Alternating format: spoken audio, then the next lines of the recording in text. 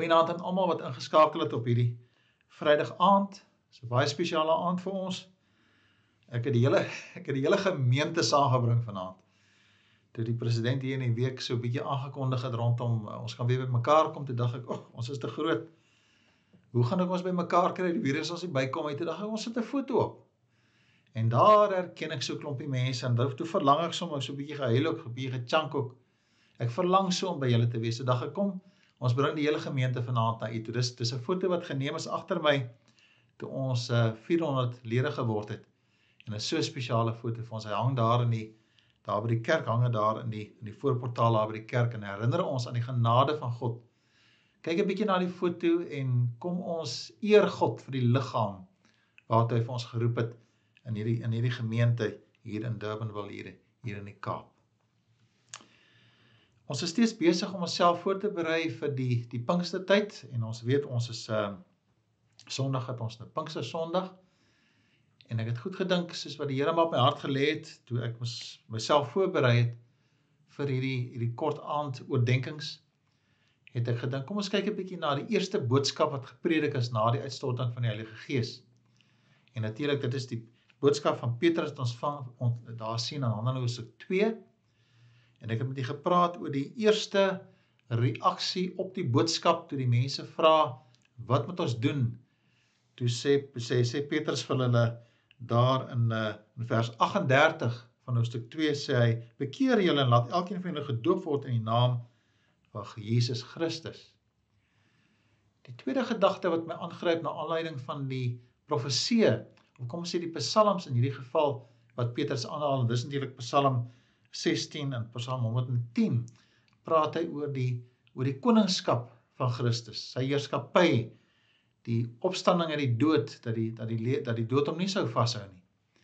En daarom wil ek dan graag vanaand nou net verwys na so die slotgedagtes van sy boodskap daar in vers 36 en ek wil net graag vanaand dit as 'n teks aan julle voorhou.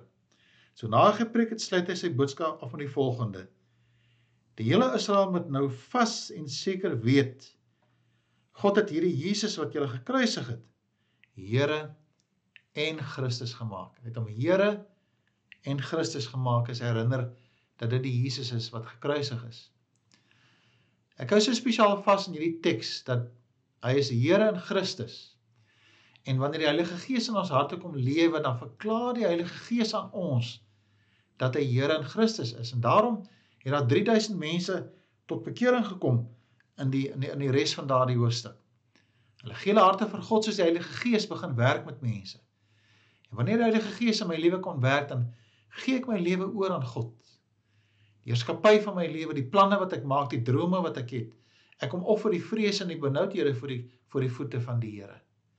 Dis hy wat my in staat stel om weer terug te beweeg na die oorspronklike opdrag wat Adam en Eva gehad het of ontvang het van God toe God gesê het heers oor die aarde, bestuur dit, hanteer dit reg. Natuurlik met ons as teenwoordigers van God en beelddraers van God, maar iets loop skeef in die tuin. Reg deur die geskiedenis hoor ons die geklank van die skade wat ons doen omdat ons God uitsluit uit ons lewens uit. Alles wat ons aanpak is tot 'n mislukking gedoem omdat ons planne nie gesinkroniseer word met God se planne en doel en betekenis vir ons lewens nie. Dit is my so spesiaal om God te eer vir sy gees wat ons kom leer hoe om weer beheer oor ons lewens te neem. Beheer te neem oor die opdragte wat God vir ons gee en 'n lewe te lei wat hy vir ons beplan. En daarom wil ek hom vanaand vir hom eer. Hy is die Here. En saam met Petrus wil ek wil ek wat ek hande vas vashou as ek dit kan doen met die hele gemeente hande kan vat en sê kom ons eer Jesus Christus as die Here van ons lewe. Ja, daar's 'n mooi woord wat sê kom ons verheerlik hom. Die kernwoord of die stamwoord is Heer.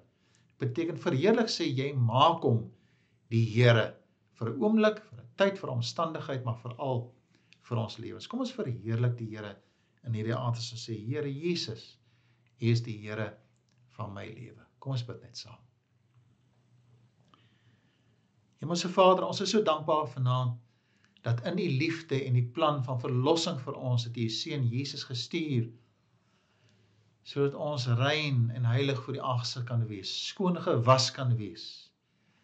en dat ons deur die krag van die Gees kan weet wat reg en verkeerd is, dat ons insig kan hê, dat ons waarheid kan raak sien en dat ons ligdraers kan wees. En wanneer ons kyk daarna dan weet ons daar's niks wat ons vanaand aan u, u kan offer dat ons dit ooit verdien het nie. Daar's niks uit ons gawes en talente vanaand wat ons sê dat ons is in beheer nie. Ons weet wat ons doen nie. Ons offer onsself vanaand weer eens opnuut aan U met die werking van die Heilige Gees in ons harte.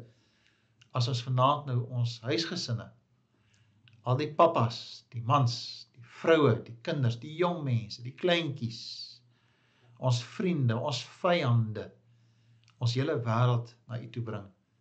En vra kom help ons om ook beelddraers te wees van mense oor wie God beheer het. Dankie dat ons die voorreg het om alles wat U vir ons gee, al die geleenthede te kan bestuur soos wat U dit wil hê deur die krag van die Gees. Die eerwoord aan U. Kom ontmoet asseblief my broers en my susters vanaand.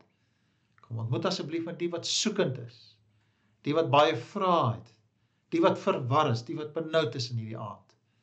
Kom help vir ons dat ons vanaand 'n offer voor die aangesig sal wees as ons vanaand sê U is die Here van ons lewens. Dit bid ons in die naam van Jesus Christus. Amen. Die Here seën vir u in hierdie aand. Soos ons altyd vra dat u rustige nagrus sal hê in die voorbereiding vir die naweek. Mag Sondag vir ons 'n hoogtepunt wees op die kalender van hierdie jaar. Mag dit 'n soetvolle tyd wees waar God vir ons afgesonder het in hierdie grendeltyd. En ons betekenisvol sal vra, Here, wat wil U vir ons sê? Kom praat met ons. Mag dit werklik baie spesiaal vir U wees ook in hierdie aand tot ons Sondag mekaar ontmoet. Al die eer behoort aan die Here en totsiens en wees rustig in hierdie aand. Totsiens julle.